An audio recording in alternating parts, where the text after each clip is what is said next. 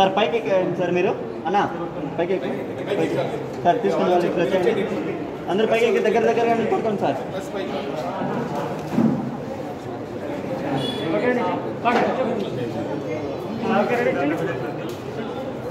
ఎట్లా సార్? అట్లా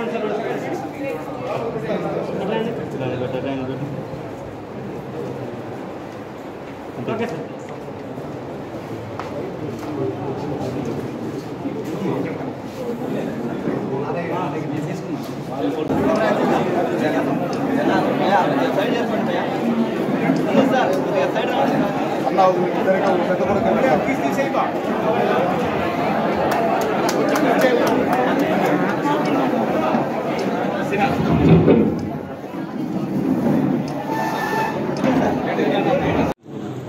ఓకే సిబ్బంది అందరికీ కూడా కానీ పేరు పేరున నా యొక్క నమస్కారాలు తెలియజేస్తున్నాను ఒకటే ఒకటి నా యొక్క జీవిత చరిత్రను ఒక్కసారి మీతో పాలు తీసుకోవాలని చూస్తున్నాను. తొమ్మిది వందల అరవైలో నేను పుట్టినాను పద్నాలుగు సంవత్సరాల చదువుకునే పాత పరాల స్ట్రోక్లో ఆ పరాల స్ట్రోక్లో మాట లేదు ఆలోచన లేదు ఎంత చిత్రవత అనుభవించినాం అంటే చాలా బాధపడండి చెప్పుకోలేదు.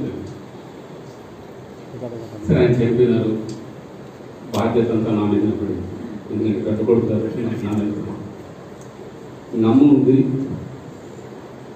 మీరు చెప్తే నమ్మరు. అమ్మ నాలుగింటిలో పనిచేసి అన్నం తీసుకొచ్చి పెట్టింది. నాకు అదేవిధంగా వస్తే ఇంకో మూటలు మూసుకుంటా ఉన్నాను ఇంకా అపరాలు బయటికి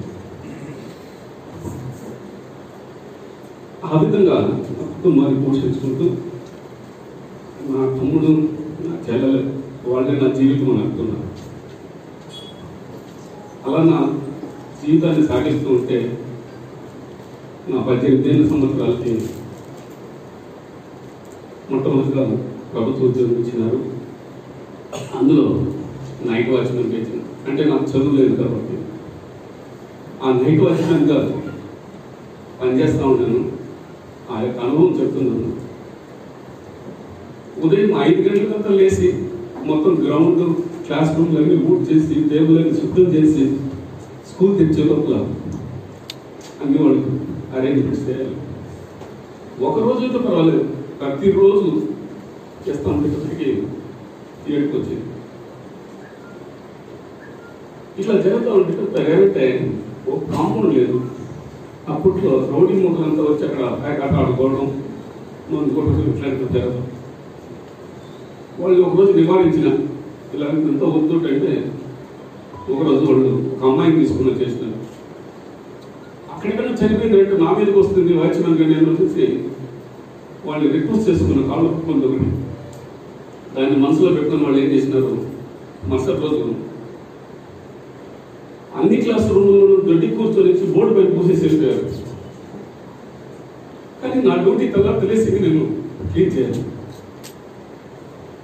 పక్కటి కూరకు ఎత్తుకోలేసి ఏడ్చుకుంటూ ఈ జీవితం ఎందుకు? ఎందుకు నాకు ఇట్లా చర్చి పెట్టారు నా నాయన మా అన్న ఏడ్చుకునే ఇలా అప్పుడు అనుకున్నా మన మున్సిపల్ స్థాయిలో అట్టడుగు ఉద్యోగం మీద నైట్ వాచ్మెన్ ఉన్నత స్థాయి నుంచి కమిషనర్. ఒక్క రోజైనా కమిషనర్ అనిపించుకొని రిటైర్ అయిపోవాలని ఆ రోజు పట్టుకుంటున్నాను నా యొక్క కోరిక తీరాలని. అప్పుడు నైట్ వాచ్మెన్ గానే ఉంటూ పగుల్లో పని చేసుకుంటూ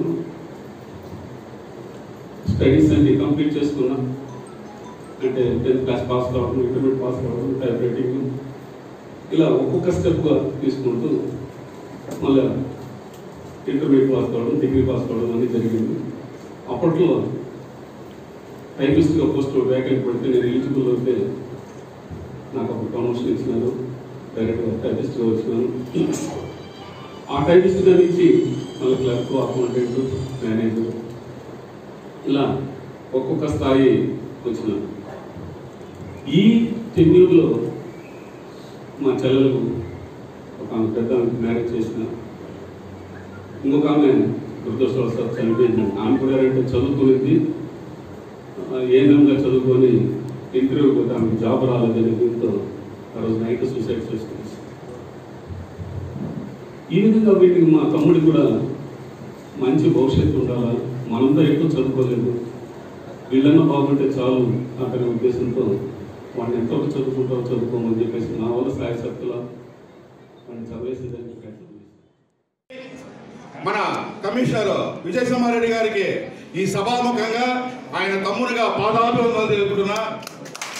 అదేవిధంగా వేదికను అలంకరించిన నాకు ప్రాణ స్నేహితుడు నాకు ఒక తల్లికి పుట్టుకమైన దానికంటే ఎక్కువ ఉండే వ్యక్తి మన పుంగనూరు కమిషనర్ వర్మ నాకు చాలా ఇష్టమైన వ్యక్తి. అతనికి కూడా మన సభాముఖంగా హృదయపూర్వకంగా వందనాలు తెలుపుకుంటున్నా.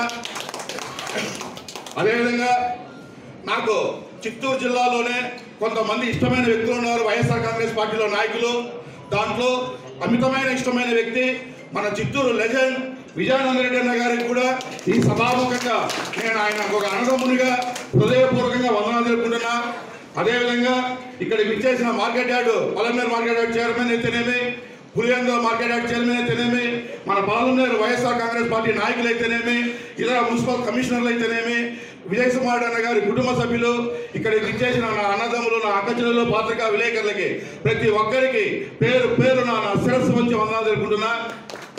ముఖ్యంగా ఈరోజు మాట్లాడి ఎన్నో నేను పెద్ద పెద్ద ఇంటర్నేషనల్ దీంట్లో కూడా చీఫ్ గెస్ట్గా పోయిన వ్యక్తి ఎప్పుడు నాకు టెన్షన్ రాదు. ఈరోజు ఫస్ట్ టైం నాకు నేను మాట్లాడుతూ ఉంటే కొంచెం టెన్షన్గా ఉంది. ఎందుకంటే మనకు చాలా మన కోసము పొలంనేరు మున్సిపాలిటీలో రాత్రింబగుళ్ళు చాలా హార్ట్ఫుల్గా కష్టపడిన వ్యక్తి. ఈరోజు మనకు దూరం అవుతా ఉంటే నాకొద్దే నేను చాలా బాధపడుతున్నా. ఆయనకి ఇంకా కనీసం ఒక సంవత్సరం అన్నా ఉండింటే బాగుండరు అని చెప్పి నా వర్గంతో లక్షసార్లు చెప్పిండా. కానీ అది మన చేతుల్లో లేదు.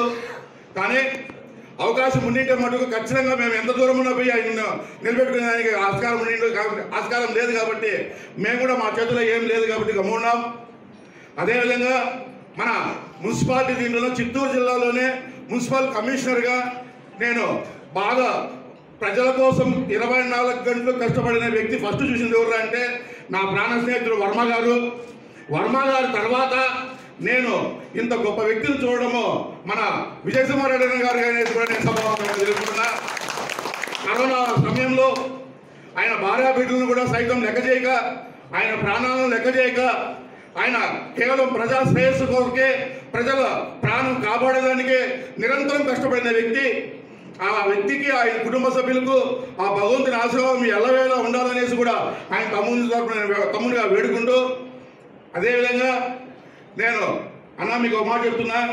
మీకు ఈ రోజుతో పలంనేరు మున్సిపాలిటీకి సంబంధించిన ప్రజలకు మీకు రుణం తిరిగినచ్చు కానీ పలంనేరు మున్సిపాలిటీకి సంబంధించిన ప్రజలే కాదు మా నియోజకవర్గం తరఫున నేను ఒక నాయకుడిగా కాదు మీ తమ్ముడిగా చెప్తున్నా. మా పలంనేరు నియోజకవర్గంలో జీవితాంతం కూడా మీ రుణం మేము తీర్చుకోవడానికి మా వల్ల కాదు. ఎందుకంటే మీరు చేసిన సేవలు అటువంటిది.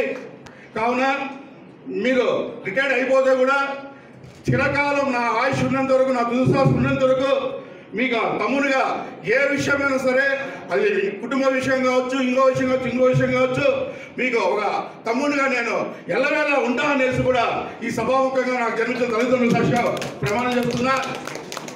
అదేవిధంగా నాకు సర్వస్వము నా గాడ్ ఫాదర్ పెద్దిరెడ్డి రామచంద్ర రెడ్డి గారు నా గాడ్ ఫాదర్ పెద్దిరెడ్డి రామచంద్ర రెడ్డి గారు తరపున కూడా చెప్తున్నా. ఆయన ఒక ముఖ్య అనుచరుడుగా మీకు మా గాడ్ ఫాదర్ తరపున మా పార్టీ తరఫున మా నాయకుల తరపున ఎప్పుడు ఎటువంటి సహాయ సహకారాలు కావాలన్నా మీకు ఫోన్ చేసిన నిమిషాలు మీకు ముందర ఉంటామనేసి కూడా నేను ఈ సభాముఖంగా తెలియజేసుకుంటూ నాకు ఇంత గొప్ప అవకాశం కల్పించిన మీ మీకు ప్రజలకు అందరికీ కూడా సు- అభినందనలు తెలుపుకుంటూ విజయసింహారెడ్డి గారి మా వాళ్ళ భార్య నాకు వదినతో సమానం. నేను ఎప్పుడు వదిన వదిన అని పిలుస్తా అన్నతో మాట్లాడేటప్పుడు వదిన గారు అయితేనేమి వాళ్ళ పిల్లలు అయితే వాళ్ళ కుటుంబ సభ్యులంతా ఆయన ఆరోగ్యాలతో సిరి సంపదలతో పేరు ప్రఖ్యాతులతో అష్ట ఐశ్వర్యాలతో మనశ్శాంతిగా సంతోషంగా అందరిలో బంధువుల్లో స్నేహితులు ఎక్కడైనా సరే వీళ్ళ కుటుంబం ఒక లెజెండ్ ఫ్యామిలీగా ఉండాలనేసి కూడా ఆ దేవదేవుడు శ్రీ ప్రసన్న వెంకటేశ్వర స్వామిని వేడుకుంటూ సదా మీ సేవలో డాక్టర్ ఆకుల సార్. రాష్ట్ర మున్సిపల్ యూనియన్ అధ్యక్షులైన శ్రీ వర్మ గారిని ప్రసంగించవలసిందిగా కోరుతున్నాను. నలభై రెండు సంవత్సరాల సుదీర్ఘమైనటువంటి ఉద్యోగ జీవితాన్ని అనుభవించి నిరంతరం ప్రజాసేవలో subscribe please subscribe subscribe subscribe subscribe please do subscribe please do subscribe please subscribe